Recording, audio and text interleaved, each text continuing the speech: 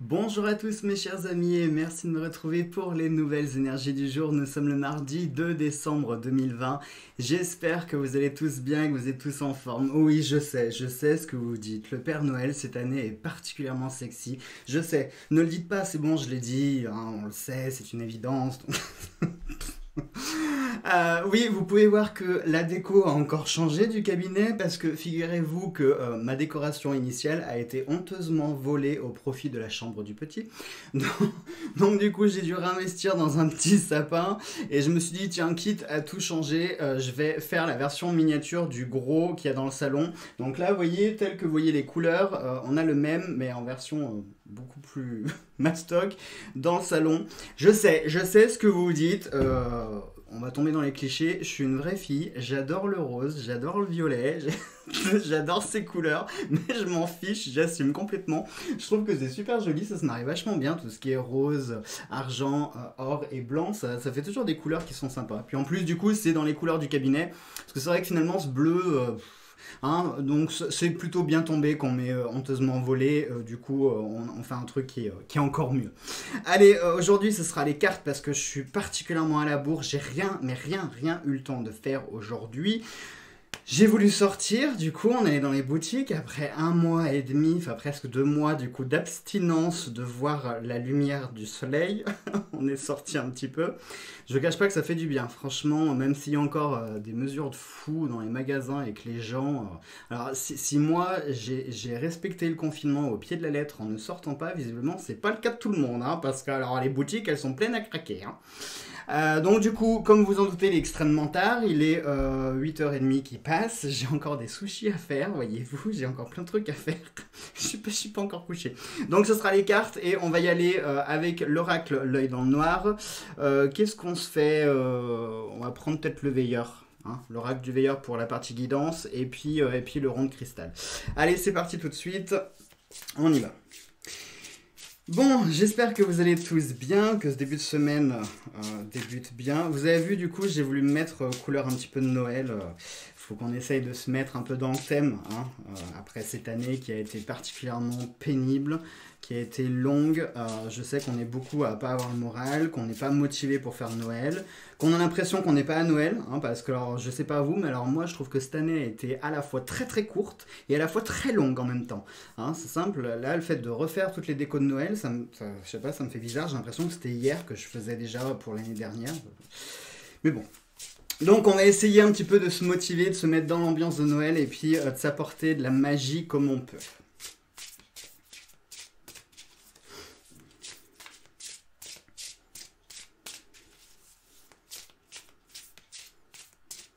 Allez, on y va, on y va, on y va. Et nous avons la bobine. La bobine ici nous parle du courant, d'un courant qui pourrait passer. Celle-ci, pour ceux qui se posaient la question par rapport au fantabuleux, c'est celle qui correspond à l'onde, la carte de l'onde.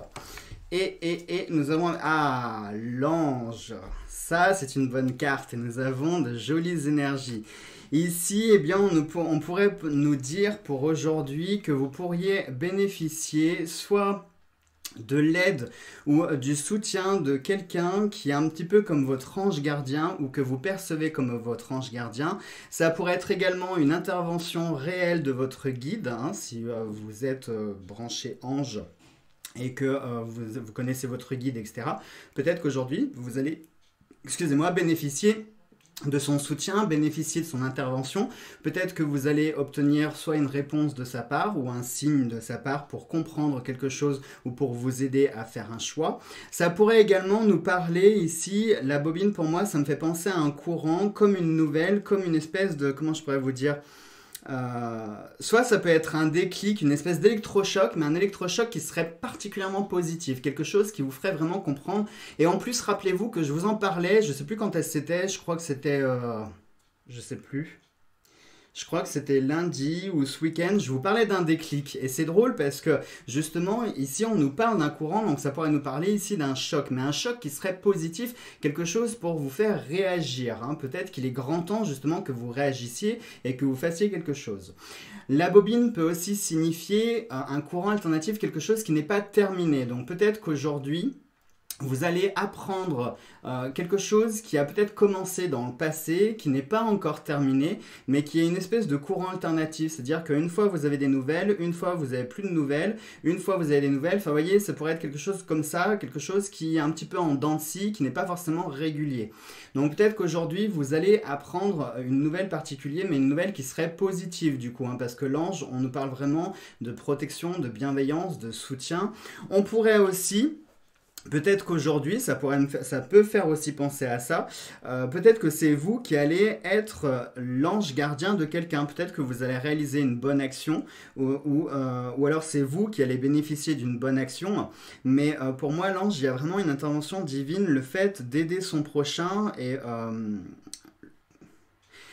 au moment où je vous parle, j'ai l'expression en tête, le courant qui passe. Ça me fait penser à une rencontre. Je sais pas pourquoi je vous dis ça, mais euh, oui, ça, me fait, ça me fait penser à une rencontre. Est-ce qu'aujourd'hui, vous, vous allez faire une rencontre avec quelqu'un euh, Alors, cette personne sera particulièrement bienveillante. Ça sera vraiment quelqu'un qui, euh, sur qui vous pourrez compter. Quelqu'un qui est positif, qui est lumineux, quelqu'un qui sera de bons conseils, qui sera là pour vous aider, pour vous soutenir.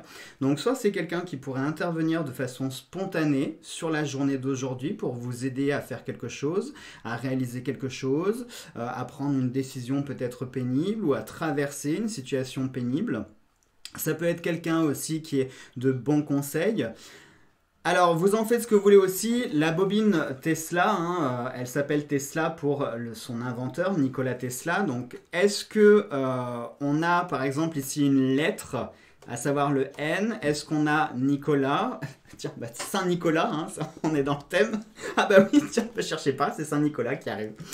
Euh, non, blague à part. Blague à part, ça pourrait peut-être être quelqu'un qui commence par la lettre N, ou pourquoi pas par la lettre T. C'est comme ça hein, que je vous dis ça, hein, c'est pas forcément... Mais euh, comme je vois les lettres sur, euh, sur la bobine, ça pourrait. Pour moi, vraiment ici, euh, vous voyez, je vous parlais de rencontre, ça pourrait, ça pourrait nous parler ici d'une rencontre avec quelqu'un qui sera vraiment positif, qui serait vraiment lumineux. Alors soit c'est quelqu'un que vous allez rencontrer, quelqu'un avec qui vous allez discuter, avec qui vous allez échanger, quelqu'un qui va se présenter à vous, euh, ou ça peut être aussi quelqu'un qui est déjà présent dans votre vie et qui va se manifester peut-être plus aujourd'hui et dans les jours à venir parce que vous en avez peut-être besoin. Ça peut être pour plein de choses, je sais pas, imaginons que vous traversiez une situation un petit peu difficile ou que vous êtes un petit peu dans une mauvaise passe, ça peut être pour plein de raisons. Et ici, on aurait la présence d'une personne qui serait particulièrement positive, qui va vous rebooster. Ou comme je l'ai dit, ça peut être vous aussi qui allez euh, endosser ce rôle d'ange pour rebooster quelqu'un, hein, pour apporter un, petit coup, euh, comme ça, un petit coup de jus pour dire allez hop, réveille-toi, reprends-toi en main, refais les choses. Vous voyez, il y, a cet aspect de déclic aussi. Hein, euh, et puis le courant qui passe, ça me fait vraiment penser oui, à, cette expression, le courant qui passe. un feeling qui va passer aujourd'hui, y avoir du feeling, il va y avoir du courant qui va passer. Pourquoi pas pourquoi, pas On pourrait parler de coup de foudre. Pourquoi pas En plus, c'est drôle parce que rappelez-vous qu'avec euh, euh, le rond de cristal, on avait tiré le grand amour. Donc peut-être que c'est toujours les énergies. Hein, les énergies sont toujours d'actualité. Mais moi, je vois plus un feeling, quelque chose qui va passer, qui, quelque chose qui, ouais, un bon feeling, quelque chose qui va bien accrocher entre deux personnes. Voilà. Donc on va voir maintenant avec euh, le veilleur.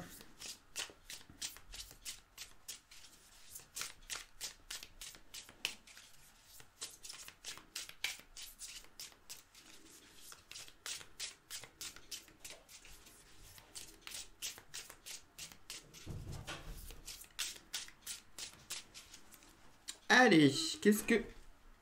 Il n'a pas envie de travailler, le veilleur. Le paquet, il s'est coupé en deux.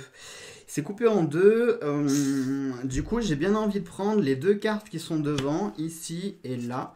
Et en plus, je vois une carte qui me plaît bien, puisqu'il y a une carte qui nous dit soit bon, soit en accord avec autrui sans être idiot. Et ici, on nous parle d'un trimestre. Donc déjà, si vous aviez besoin d'une réponse, alors pas forcément une réponse, mais peut-être plus une indication, parce que rappelez-vous, je vous le dis très souvent, en divination, on ne peut pas faire de la datation précise, c'est impossible. Pourquoi c'est impossible? Parce que euh, lorsqu'on vous tire les cartes, lorsqu'on vous fait une guidance, on la fait toujours à l'instant T, au moment précis. C'est-à-dire que là, à l'instant T, les choses, si elles n'évoluent pas, si elles ne bougent pas, si vous ne prenez pas de décision qui modifie les choses, alors ça évoluera comme ça. Par contre, si vous prenez une décision, par exemple, moi je vous annonce euh, la semaine prochaine une promotion, sauf que là, dans la semaine, vous donnez votre démission. Bon, ben, ben c'est clair que la promotion, vous ne l'aurez jamais, voyez. Donc, il faut bien prendre conscience qu'on ne peut jamais faire de la datation. On peut plus ou moins voir en analysant une situation comment est-ce qu'elle va évoluer et combien de temps euh, elle va mettre. Mais ici, on nous parle vraiment d'un trimestre. Donc si vous aviez peut-être quelque chose en tête, en gros, ici, ça nous demanderait du temps. Du temps qui est confirmé avec l'autre carte, puisque on a le mois d'octobre. Comment vous dire que le mois d'octobre, il est un petit peu passé, là, donc c'est le prochain. Donc autant dire qu'entre un trimestre et le mois d'octobre, ici, ça nous parle de temps. Ça nous parle de laisser du temps. Donc laisser du temps. Si vous aviez une question en tête, c'est ce que je vous dis, laisser du temps. Euh, alors, le soit bon. Le soit bon, je vais revenir dessus parce que ça me fait beaucoup sourire par rapport à la carte de l'ange. Donc aujourd'hui, on vous demande d'être bon, d'être bon envers les autres, de faire preuve d'altruisme. Donc il est fort probable qu'aujourd'hui, soit vous fassiez preuve d'altruisme, soit vous allez bénéficier d'une bonne action ou, euh, je sais pas moi de gentillesse, vraiment quelque chose qui est désintéressé. Donc savourez, hein, prenez les choses telles qu'elles se présentent. Par contre, on vous précise sans être idiot, soit bon avec les autres, mais sans être idiot. Ça veut dire que oui, il faut être altruiste, mais il y a des limites aussi. C'est-à-dire n'allez pas donner votre slip et votre soutien-gorge, euh, hein, vous en avez besoin aussi. Donc c'est-à-dire qu'on donne, oui, mais il y a aussi des limites dans le don. Hein. Il ne faut pas non plus se mettre dans euh, la misère, il ne faut pas se mettre dans la galère, parce qu'on faire plaisir à autrui. Non.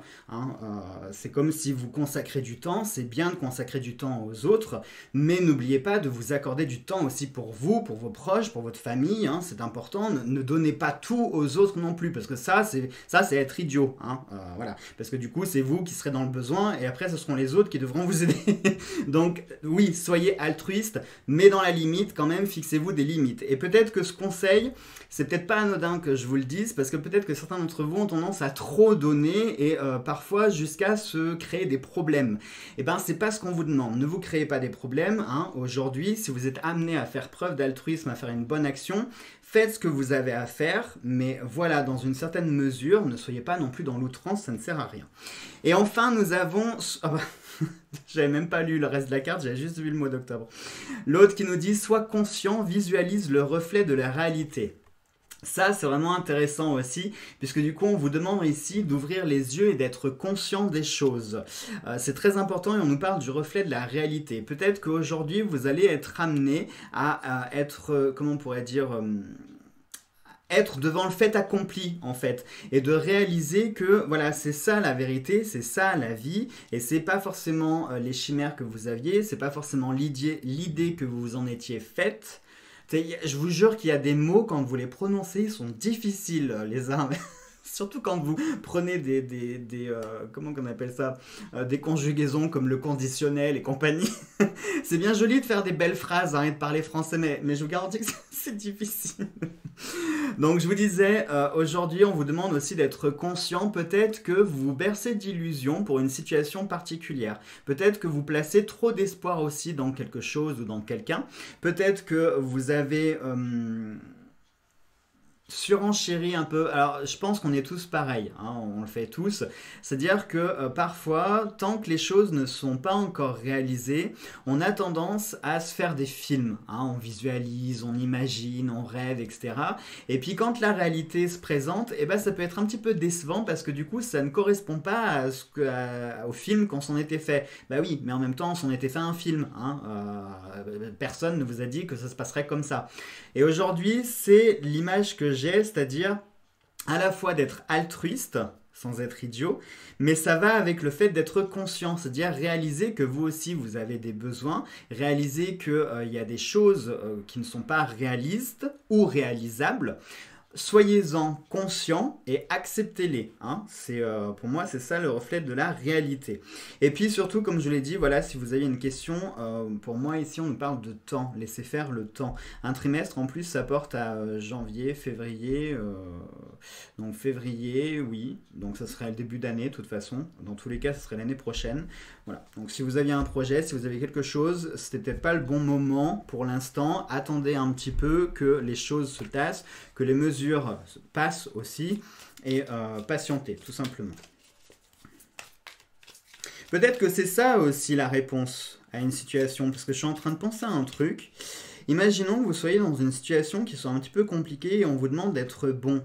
Bon, ça peut être aussi synonyme d'être patient, de faire preuve de patience, d'être gentil, de, tenir encore un petit peu, hein, et les choses se feront. Mais euh, aussi peut-être prendre conscience que pour le moment, ce n'est pas encore euh, la bonne période pour que la situation ou ce que vous avez en tête puisse se réaliser.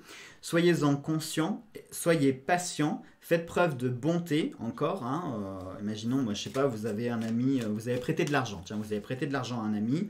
Et puis cet ami, vous avez promis de vous rembourser à partir de la rentrée. Sauf qu'on est déjà au mois de décembre et vous n'avez toujours pas vu un sou. Bon, et eh ben peut-être que lui aussi, euh, cet ami rencontre de grosses difficultés et que c'est peut-être pour ça qu'il n'arrive pas à tenir sa promesse, qu'il n'arrive pas à tenir sa parole. Donc du coup, on vous demande d'être un petit peu euh, bon et d'être patient encore pour que bah, il ait le temps lui aussi de pouvoir régler ce qu'il a à régler et quand ça, se fera, ça se fera. Hein. Ça peut être ça aussi, faire preuve de bonté. Hein. Alors, pour nos prédictions, nous avons une femme. Nous avons une femme. Donc femme, ça peut être pour plein de choses. Hein. Et nous avons un aïe, un dénouement malheureux. Un dénouement malheureux pour... Alors est-ce que c'est lié à cette femme? Peut-être. Peut-être que ici on vous fait comprendre qu'aujourd'hui vous ne parviendrez pas à trouver un terrain d'entente avec une femme, que vous ne parviendrez pas à euh, conclure un accord, à euh, signer, à réaliser ce que vous deviez faire avec cette femme. Et peut-être que c'est ça aussi le soit bon et soit conscient, parce que on vous demandera peut-être de faire preuve de bonté. Hein, si cette femme vous dit non ou si ça ne se fait pas avec cette femme pour X ou Y raison, eh bien essayez d'être compréhensif, essayez voilà de euh, de, comprendre, enfin pas forcément de comprendre, mais euh, ne vous prenez pas non plus la tête. Euh, voilà, hein, pour le moment ça ne se fait pas. Et c'est peut-être ça aussi le fait de patienter. Peut-être que là, aujourd'hui ou dans les jours à venir, les choses ne se réaliseront pas comme vous voudrez. Vous ne connaîtrez peut-être pas le dénouement que vous auriez souhaité avoir. Patientez un petit peu, soyez conscient de la situation. Peut-être que cette femme, elle aussi, rencontre des difficultés qui font qu'elle ne peut pas honorer ce qu'elle vous avait dit, d'où l'aspect du dénouement malheureux. Et le fait d'être d'être patient, d'être conscient et d'être euh, bon, eh ben, ça vous permettra peut-être d'avoir un dénouement heureux, mais plus tard dans le temps. Hein. Voilà donc mes chers amis pour ces énergies du jour. Allez sur ce, je vais vous laisser. Moi j'ai des sushis à faire. je vous fais tout plein de gros bisous. Je vous souhaite de passer une belle et une bonne journée. On se retrouve demain pour nos nouvelles énergies. Prenez bien soin de vous. Et puis voilà, gros bisous.